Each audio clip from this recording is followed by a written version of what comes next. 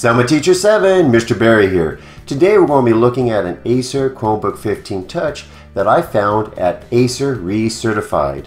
First I'm going to go over where I found it and how much I paid, then the specifications of this particular Acer Chromebook, and then I'm going to go over the unboxing, setting up, and then is this a good product or not?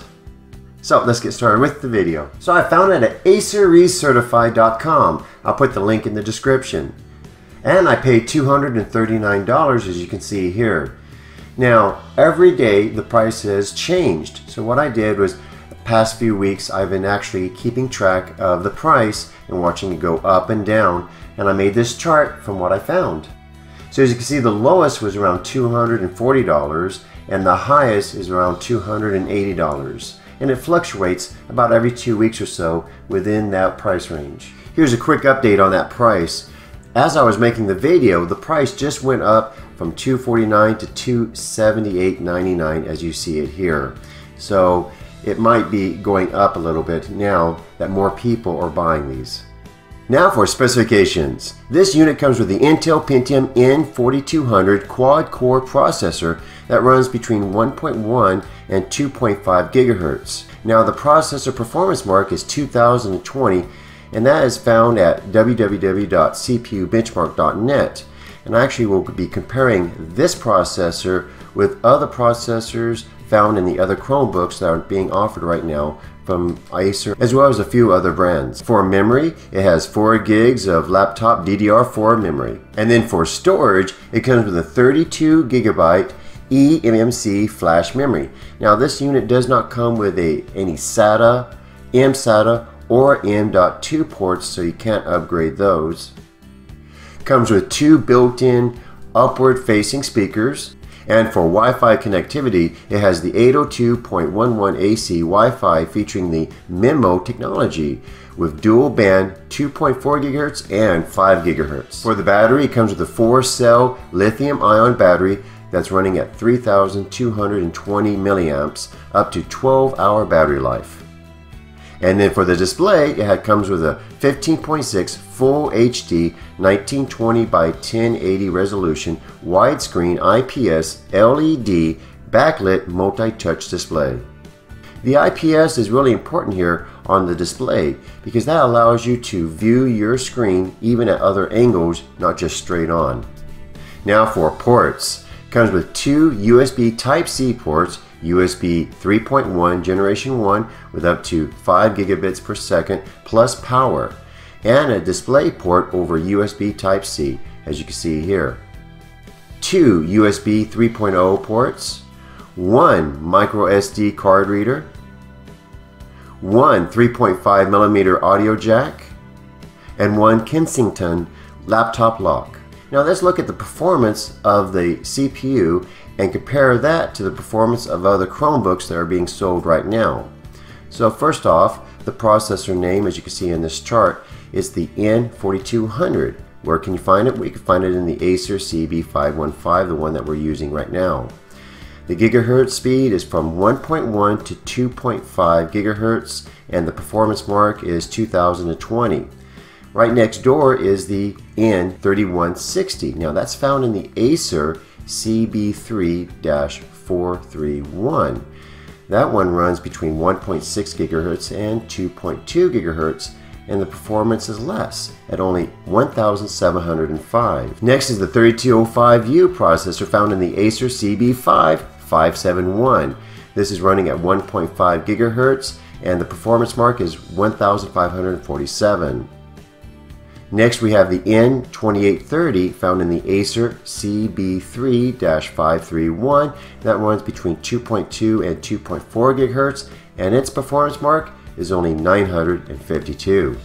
Now for other common Chromebooks you might find the processor M36Y30 that's found in the Samsung Chromebook Pro. Now that runs between 0.9 and 2.2 gigahertz and its performance mark is very nice at 3051. Next is the processor 5005U. This is a Core i3 processor. This is found in the Acer 910 and it runs at 2 gigahertz and its performance is 2911. Next is the processor N2840 found in the Lenovo IdeaPad 100S Chromebook. It runs between 1.6 and 2.5 gigahertz and its performance rating is at 1007. And the last one we have on our charts is the N3060. This is found in the Asus C202 running between 2.2 and 2.6 gigahertz and its performance mark is 996. So as you can see in this chart, the 1.1 gigahertz actually outpaces and outperforms faster processors found in the other Acer models that are being sold at that website, acerrecertified.com. However, it's not quite as fast as the Samsung Chromebook Pro or a other Chromebook that's using a Core i3 processor. It will come in a plain cardboard box and you open it up, you'll see this airbag here and the Chromebook will be inside. Look at that, not a fingerprint on it. Looks really nice. On the underside here, we see the information where you can find your warranty on the web, as well as a phone number. And inside the box, you'll find a few more sheets, and I will provide those sheets as PDFs for you too in the description. But this is more uh, warranty information, so it does come with the Acer warranty, which is really nice. Inside on the far side of the box, we find the USB Type-C charger, which is really nice, and that will allow you to charge your machine up right away. Now to set up your new Chromebook, plug it into power and then open it up. And once you open it up, it will automatically start as you see here. Click on Let's Go. And you'll see your network. Go ahead and choose your network by simply clicking on it and then keying in your password for your network and then click Next. Click on agree and continue on the agreement terms and then sign into your Chromebook using your Google account and put in your password and then next. Then it'll say your name and you can take a tour at this time or just close that off and you can watch your applications as they're being installed. Click on the app launcher and you can actually see your other applications too that you've already installed on your other Chrome devices. They will be installing here automatically for you. Down here is the Play Store on the shelf. Click it and this will set up your Play Store for you. Click on Agree. Now about this keyboard, it's a backlit keyboard. If you go Alt Bright or Alt Dim, you can change its brightness. So you can turn it on, turn it off, or just change the brightness there. Now click on Continue. And the Play Store will load with many different apps. You can scroll up and down. And right away you notice you have Microsoft Word, Excel, PowerPoint, and many others here, such as I noticed VLC, the video player. That's good. Many, many games, even offline games as you can notice there. And to do a search, just click up there and then type in the name of a game or a program that you want to find. In this case, I typed in Flight. And I can scroll down and notice right away that one of my other games that I installed on my other machine, it's now installing on this machine automatically. Now, if you're interested in one of these, simply click it. It'll open up. And then you can read the description and see some of the uh, images there click on one and see a preview of what you to expect from the game. Hit escape to get out of there. And if you like the game, all you have to do is click on install. And then it will be installing now for you shortly. The thing I would like to mention too is that you can receive updates from the Chrome OS. When you see this icon, just simply click it and then click on restart to install the update. Your machine will restart and install the update for you. Now all you need to do is log into your Google account and start using your Chromebook. Well, we now come to the segment of the video where you see whether I would recommend this Chromebook or not. Well, let's go over some of the pros. I love the keyboard, how it lights up, and the feel of the keyboard. I've been using this now for all day long on this one. I've, I have a second one there uh, from Amazon that I've been using um, for over a month now, and I love both of them. So the keyboard feels good, has a good backlit uh, to it. I love the aluminum chassis both on the top up here behind your display and down here around the touchpad. I love the IPS screen. Notice you can see it at different angles and it is viewable from uh, different angles there. And I love that it's a multi-touch screen.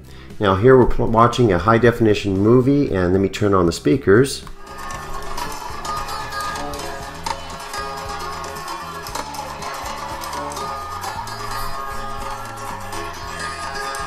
So speakers work. Um, I've been watching different movies with it, both on YouTube as well as here. This is an actual high definition movie that I downloaded and uh, is on the, running on the machine. Now I have also run a number of Android apps and I've had the volume on max and it never gave an issue, never had a problem at all with all the uh, gameplay that I've been putting into it today. I just been really really happy with it. Uh, the other one that I have from Amazon is identical to this with the same model number and I've been using that one like I said for about a month and really no issues to, to report there. I use them every day and I've been really happy. So would I recommend it? The answer is yes. I would recommend it on those points. Now for the cons.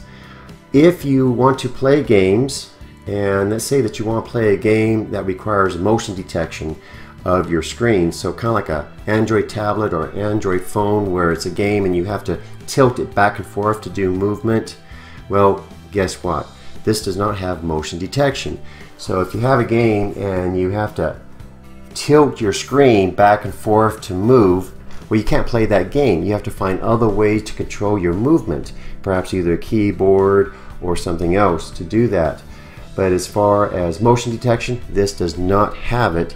And there are some Chromebooks that do have that, by the way. So there you have it. I would recommend this Chromebook. I really do enjoy it. Now, if you're watching this on YouTube, please give it a thumbs up, comment down below because I love to read your comments. And if you have a question, I'll make sure that I answer it as soon as I can. Thank you very much and bye-bye.